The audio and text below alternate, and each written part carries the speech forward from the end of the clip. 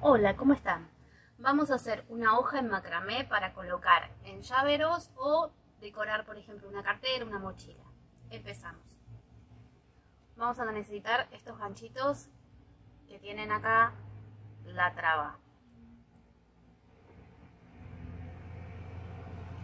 Hilo de macramé. Vamos a pasar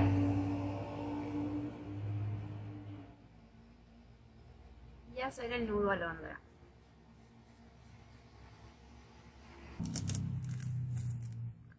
Y voy a empezar a hacer un nudo. Separo la hebra, la giro hacia adelante y por debajo de la otra. Hago un arito que gira por debajo de la otra tira. Paso por el centro del arito y ajusto. Ahora hago lo mismo con el otro lado. Giro, paso por debajo, paso por el centro,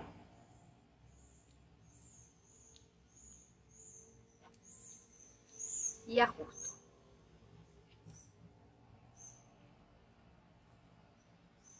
Una vez más. Giro, paso por debajo, paso por el medio y ajusto.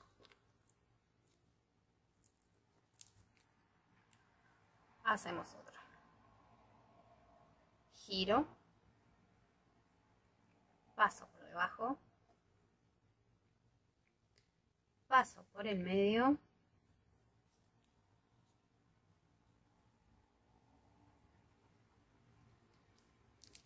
y ajusto. Esto lo sigo repitiendo por el largo que le quiero dar al cabito de la hoja, ¿sí? Yo voy a repetirlo un par de veces más. Una vez que tiene el largo que quiero, voy a dejar las dos tiras en el medio y voy a pasar a cortar tiras del ancho que quiero que tenga la hoja. Digo así, elijo el tamaño y voy a cortar las tiras todas del mismo tamaño. Bueno, una vez que corté todas las tiras del mismo tamaño, corto tantas tiras necesite para llegar al tamaño de la hoja que quiera, el largo de la hoja que quiero. Lo doblo al medio, paso por debajo, doblo al medio, pongo por encima pero al revés, paso por este ojal y paso por el otro ojal Me acuerdo que empecé de este lado por abajo.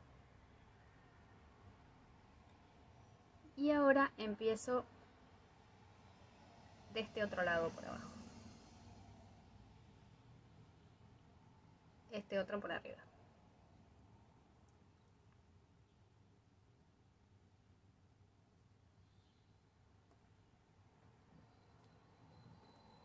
Tiro y acomodo. Así voy a repetir todo hasta que llegue al tamaño que quiero de la hoja. Vamos una vez más. Ahora toca por debajo de este lado. Y por encima de este. Engancho uno. Engancho el otro. Y cierro. Esto que voy intercalando es porque el nudo va dando una formita acá y acá. Entonces, para que no quede todo de un solo lado, se va intercalando. Sigo hasta que tenga el tamaño que yo quiero la hoja. Una vez que tengo todos los hilos puestos, voy con una hoja a medir el tamaño, doblarlo al medio y darle a la hoja la forma de hoja que me guste más.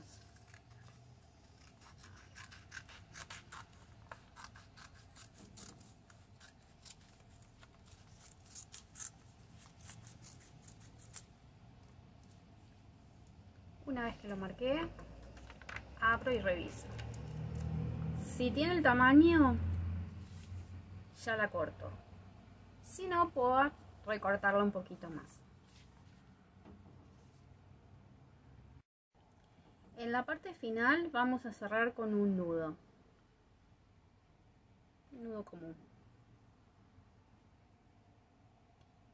Bien fuerte porque es lo que va a sostener después todo el resto del tejido.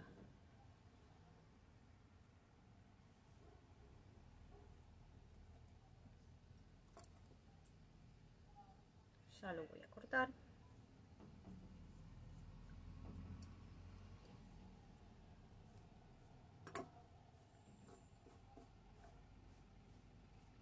voy a acomodar bien las hojas como quiero que vayan quedando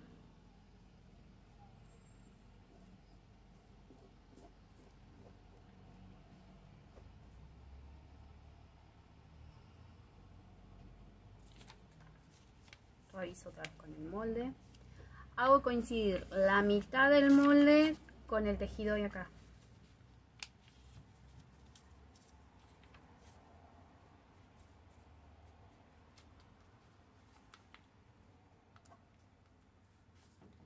Una vez que acomodé todo bien parejo, lo que voy a hacer es tomar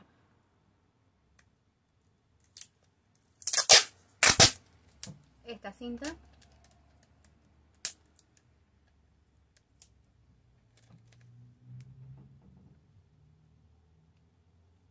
y pegar por encima.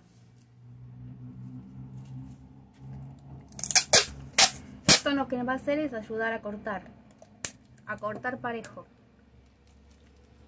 Porque generalmente si miran los videos por internet van a ver que cortan directamente. Nunca nos va a quedar parejo de los dos lados.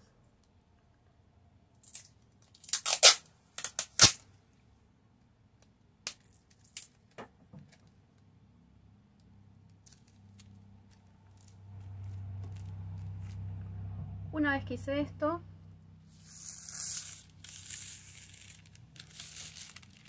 desprendo donde tenía enganchado desprendo la hoja y miro del lado de atrás que haya quedado todo derecho.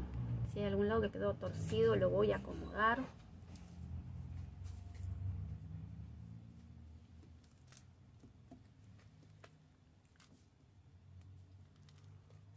vuelvo a girar y con paciencia y una tijera buena voy a ir cortando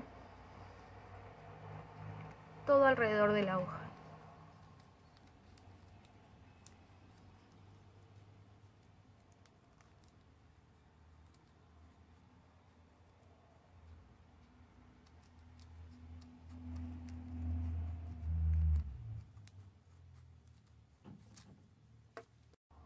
Una vez que corté de un lado, giro y voy a cortar del otro.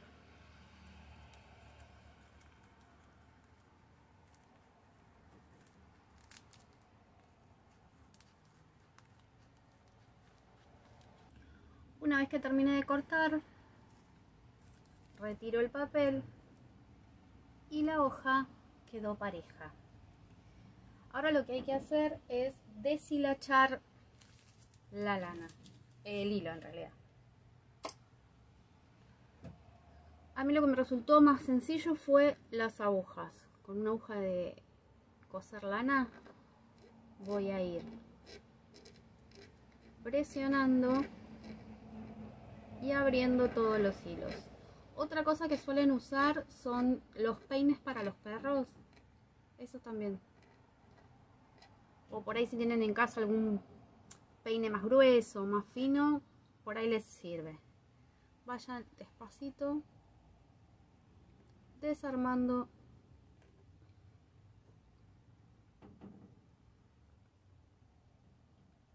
toda la hoja. Bueno, acá están las dos terminadas. Esta es la que hicimos recién, que está con el gancho para colgar en la cartera o en un llavero. Y esta otra es para colgar, por ejemplo, con este ganchito en la puerta de un placar.